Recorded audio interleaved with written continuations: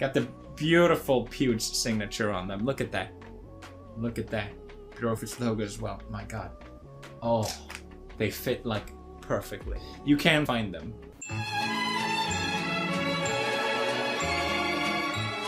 But can he do this?